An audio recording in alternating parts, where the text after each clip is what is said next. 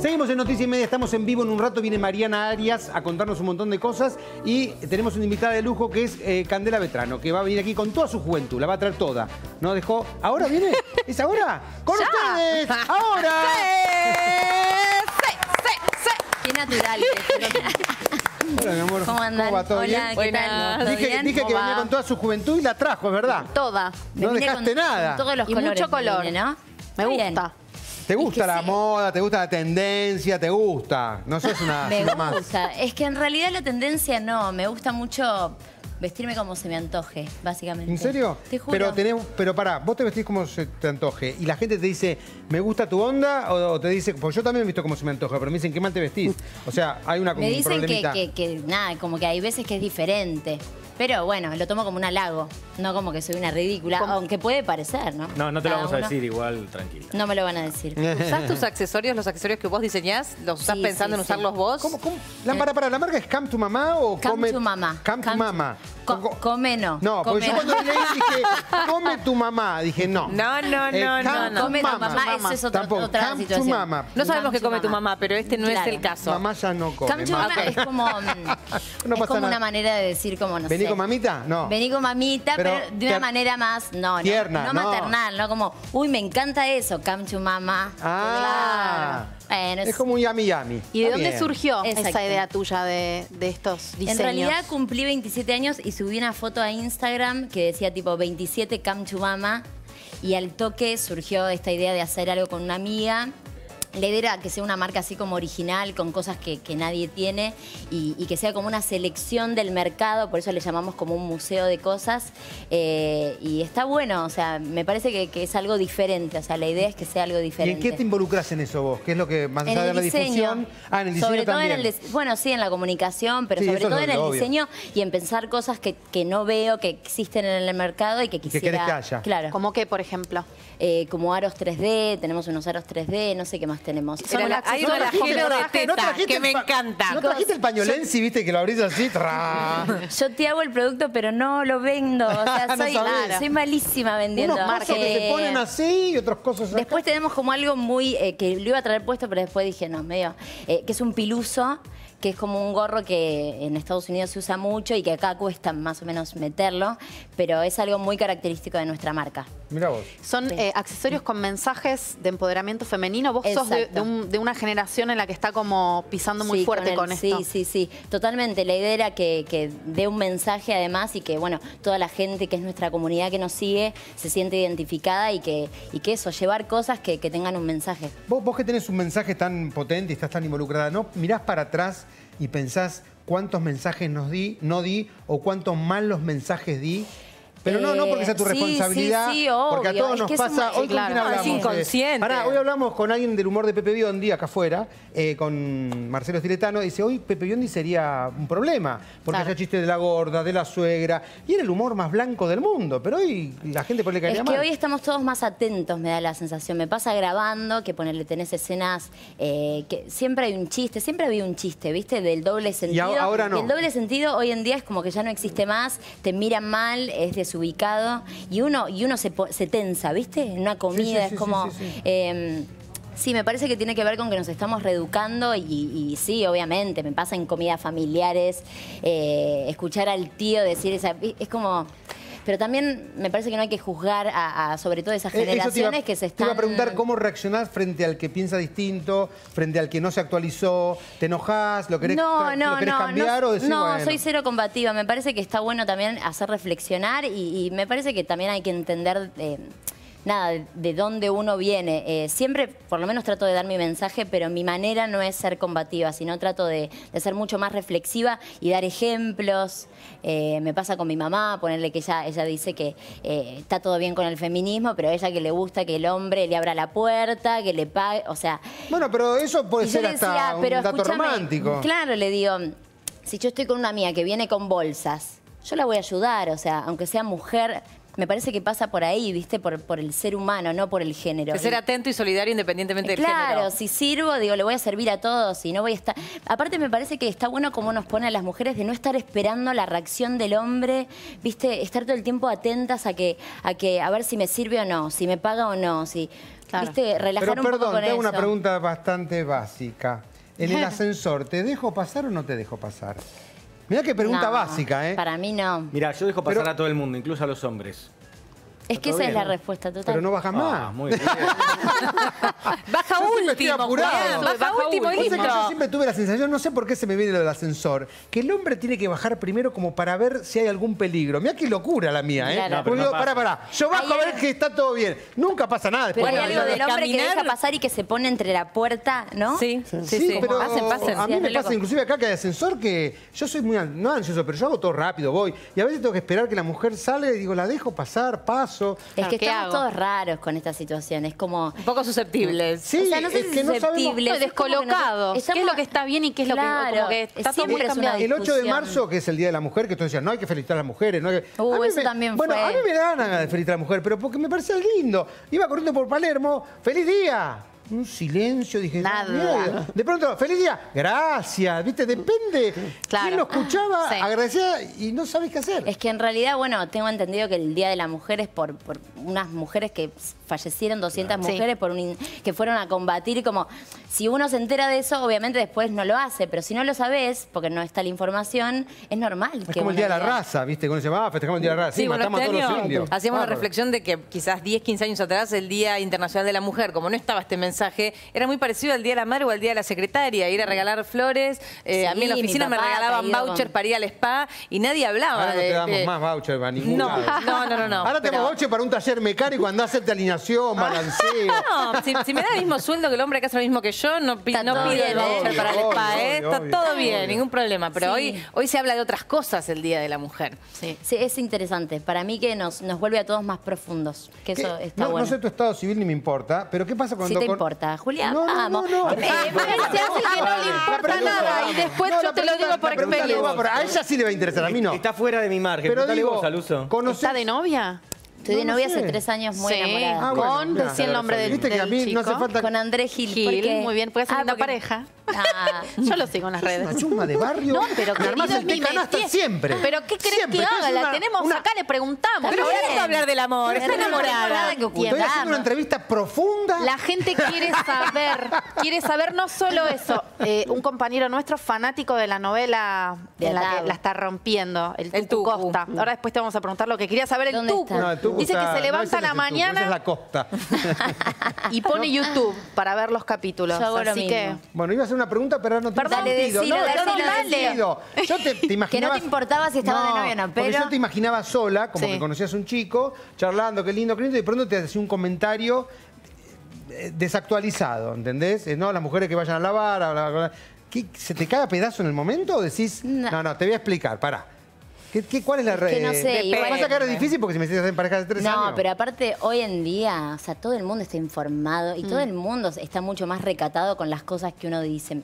No sé, tiene que ser muy desactualizado, como vos decís. Pero hay- en redes hay- sociales hay piropos no muy amables. No sé si te Bueno, pasa. pero en redes Me parece que también las mujeres también. Hay, hay Sí, mucho de la mujer. Por eso en general, por ahí Sí, el sí. anonimato o el O hecho sea- de que sea desde el celular. Claro, total, total. A mí me dicen mucho nabo, ¿es un piropo eso o no? Creo que no. Bueno, Es una una verdura. verdura, te iba a decir. no es una descripción. Tómalo como quieras. Fijate. que cuente, que cuente de la novela, ¿cómo está? ¿Cómo, cómo Pregúnteme. la, está rompiendo? pero Porque yo quiero saber, ¿cómo es el clima? ¿Se llevan todos bien? Nos Contanos. llevamos todos muy bien. Sí. No, en serio, en serio, nos llevamos muy bien. Eh, estamos muy felices de hacer esta novela porque La están rompiendo. está buenísima. Sí. Digo, todos lo miramos así como fanáticos, viendo qué es lo que va a pasar en la historia. Hacer algo de calidad, como es la novela, hoy en día, De todos época, los días. Semejante todo el- Te ficción. quería preguntar, es una novela que hoy, si no me equivoco, todos los días es lo más visto de. Sí, de- la está de- rompiendo de la televisión rating. argentina. Sí. ¿Qué se siente que una producción nacional que le da trabajo tanto a actores, técnicos, guionistas, directores, tenga más rating que capaz una lata que llega de afuera? ¿Es importante para, para y ustedes? me parece que da mucho orgullo y que te, da un poco de esperanzas hacia el futuro, porque está bueno que le haya ido a la novela, más que le haya ido bien, más allá de, la, de que porque yo estoy ahí, era como es un producto nacional que realmente pusieron un montón de todo, de energía, de guita, de todo. Es un Y de- antecedente para que se hagan más. y decís como, por favor que le vaya bien, así siguen haciendo cosas de esta calidad, porque eh, nada, está bueno que la gente que haya apoyado la novela y que lo sigan Está y también vos decías, estamos todos más profundos. Bueno, la, la novela al ser de época también te invita a la reflexión de cómo cambiaron un montón de cosas en la sociedad y está el bueno lugar de la mujer. Está buenísimo. Y cómo no. Y cómo no, en algunas, Sí, hay claro. un montón de cosas que, que sí, que cambiaron abismalmente y, y hay otras que decís como, ay, dejo Pero- de ¿Qué, esto. qué no cambió? ¿Qué no cambió para vos? No sé, a mí me llama mucho la atención, mi personaje es una chica embarazada, eh, totalmente vulnerable porque se queda embarazada de un hombre que estaba casado y que nunca le dijo que estaba casado. Y bueno, y se va enamorando de diferentes hombres y ahora particularmente se está enamorando de Fernán Mirás, que él es el dueño del burdel, entonces es un Siniestro. manipulador, un machista, o sea, todo lo, la- Todo lo contrario. todo, todo lo que un hombre no tiene que ser es él. Y yo em- empiezo a tener relación con él. Y a mí siempre me tildan de la boluda. O sea, es tipo, Ana, sos una boluda, Ana, No- date no te das cuenta, cuenta. sos una... pe-". Y a él no le dicen nada. Y eh, ahí digo, o sea, el reflejo del machismo en nuestra sociedad es, es, es muy claro, sobre todo con esta... Nada, cómo reacciona la gente. Yo decía, lo hablé con la autora, le digo, ¿estoy haciendo algo mal? Porque para mí es súper justifi... O sea, está bien que ella esté buscando y que esté desesperada porque está en una, eh, está en una situación En muy una vulnerable. de la época. Claro, o sea, ¿sabés lo que era estar embarazada en esa época? Mi personaje trató de abortar, le salió mal. Eh, digo, si continuó con el embarazo tocaron porque todos no los le pañuelos juntos ahí. No, no, yo, yo le estoy pasando como... Me voy a cagar de risa la novela. Bueno, ¿te gusta verte de chiquita en la tele?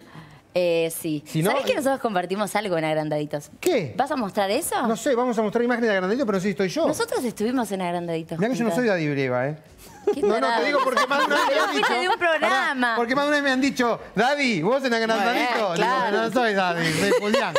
Pero no me molesta. Bueno, me No parece sé, no que sé, a ver. sacamos la estoy duda. casi segura, pero ver. no A sé ver, si a vamos. ver. Poné, poné. A ver. Uf, ay. Ay, no te puedo Yo, Yo me quedo como Ese es estoy, el gusto de ellos. Pero a mí no, yo no me quiero desnudar, a mí no me importa. La, eh, mi, Si yo no mis quiero, partes íntimas porque todos están así. Hay que ser personal. Eh, si a vos no te gusta hacer esas cosas, no las tenés que hacer. Pero yo, yo me voy a quedar con ella. Mirá, mirá lo que y era. que si le diga pero- eras paso. combativa, ¿eh? Pero ella... No, digo otra Sí, toma sol que, te- que la No, gente pero, está ahí. no, porque esa ahí, escúchame, están acostumbrados a ver, ¿no? Eh, Si voy yo, a lo mejor sí, mira. Obvio que no voy a estar, uno de están tomando sol, yo no voy a estar a ver. Los obligues a que digan hola hello.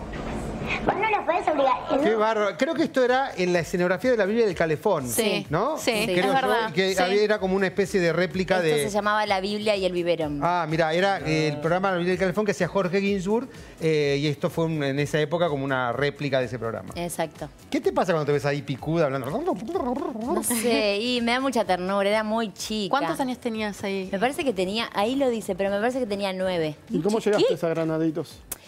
Eh, mi madre en su momento, yo era una personita muy histriónica y muy, muy graciosa. Yo miro videos y me causa mucha gracia lo que veo de yo de chiquita. Y estaba muy obsesionada con chiquititas en ese momento Mm. y quería estar en la tele. Tengo recuerdos llorando Mirá como vos. una loca. Y mi madre, eh, nada, creo que estaba el casting en la tele y me llevó, básicamente. Y después, quedé. finalmente, terminaste trabajando con Cris Morena. Sí, sí, fue Se te re cumplió loco el eso. sueño. No, hiciste carrera. Sí. Claro. ¿Pudiste estudiar o simplemente fue trabajar? Mira, las ganas de estudiar me agarraron de más grande. ¿Y pudiste Me- o te sí, costó? Sí, sí, estudié más que nada afuera. Como que acá me daba un poco de pudor estudiar. Eh, no sé, ¿viste? Entonces hice cursos como en Estados Unidos. No, Iba... no, pero te pudiste formar, porque a veces los que empiezan de chiquito, Claro. cosa que yo no aliento, a mí siempre me dicen, ay, mi nene está dar-". No, no, no, no, no. Sí, yo también lo digo, ¿eh? Bu- Bueno, pero está bueno que lo digan eh, lo- los que Sí. empezaron de chiquitos, porque yo no empecé de chiquito, empecé a los 19 años, pero los que empezaron de chiquitos dejan de vivir su infancia, este, está bueno lo que pasa, pero también está, es muy malo cuando no deja de pasar. Ella, por ejemplo, empieza a trabajar a los 9, tra- trabaja hasta los 10, 11, no la llaman más de última, por ahí. ¿Y sabes lo que es para un nene de 11 años la frustración de que no yo, te llamen más? yo sufrí un montón de frustraciones de chiquita. Lo que pasa es que es como cómo los vas laburando con el tiempo y mi familia es lo más. Digo, yo tengo una madre y un padre muy presente. Se encargaron de que yo haga, tipo, me fui de viaje de egresados, hice todo lo que tenía que hacer. Eh, O sea, no salteaste ninguna etapa. No, no salteé con mucho trabajo. Digo, nunca me llevé una materia, pero porque era una frica. O sea, soy muy responsable desde muy chica y, y grababa, o sea, iba al colegio hasta las 2 de la tarde y grababa hasta las 10. Y, y- y estudiaba en tipo en nada, o sea, era una locura mi vida, pero, eh, eh, pero nunca me costó, Tu, digamos. tu pareja es de... Es actor. Es actor. ¿Trabajarías con él en una novela de, de- de amor, sean pareja o no? Eh, ¿O dirías, no, no quiero trabajar? O sea, no me parece lo ideal, ni ahí. Y si no comparten escenas, como le pasa a, la, China, y a Creo que Benjamín. sí, o sea, no me parece lo ideal porque, porque no- sí haría una película, ponle, pero Sí, una pero que tira, termine- verte todo el tiempo, 12 creo que horas, es ¿no? Totalmente perjudicial. Vos decís Aparte que te para ellos es el perjudicial. Y es horrible. No, no, para ellos no tengo idea, pero, pero aparte ellos no graban juntos, Claro. digo.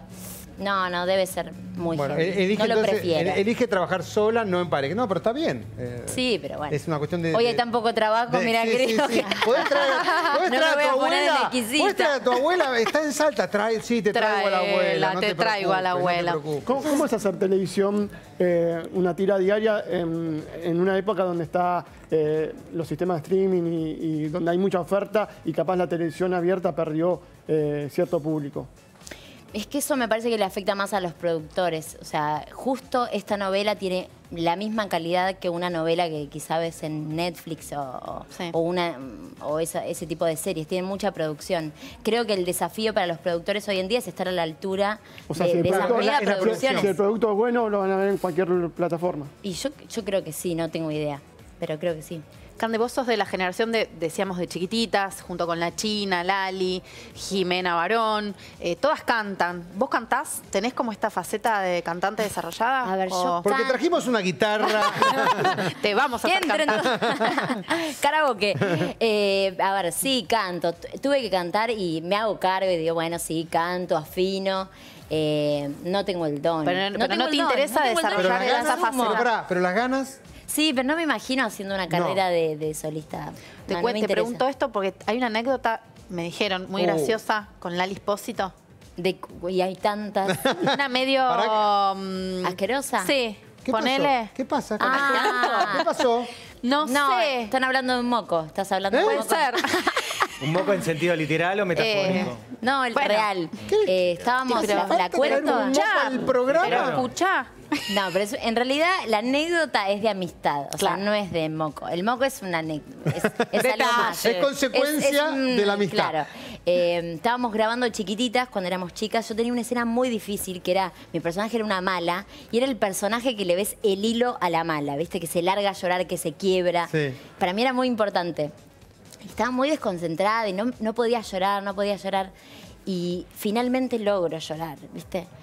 Entonces, cuando estoy grabando así, que, que no me acuerdo qué decía, hago así y se me sale un moco Y se- enorme. y se te fue todo la- No, no, yo ni me di cuenta. Pero obviamente lo iban a cortar. Chicos, cuando hay mocos en las novelas se corta. Sí, sí, lo porque es se feo, corta es porque feo, sí, es feo. Entonces, eh, Lali, muy amorosa y muy buena compañera en su momento, me saca el moco. El tali es, es esa luz que te aparece cuando la, cámara te está apuntando. Ponchando. Que te está ponchando, exacto. Entonces, cuando la poncharon a ella, no se veía su mano y me sacó el moco. No te puedo Mi creer. Amor. Menos mal que fue solamente un moco. Sí, Claro. Tengo algo acá. me No, no, quédatelo que te queda lindo. Te queda muy lindo. No A vos te queda vos. ¿eh? Vos Bueno, te vamos a regalar, no sé si tomas vino, pero para Ay, brindar, para festejar. rico, muchas el- gracias. el re- es un regalo de la gente de Buen Vivir, que es el club con más socios del país. Así que que lo disfrutes. Muchas gracias. por gracias. ser joven. Este, Por más éxitos, por más éxitos. ¿Eh? Por más éxitos. Por más, sí.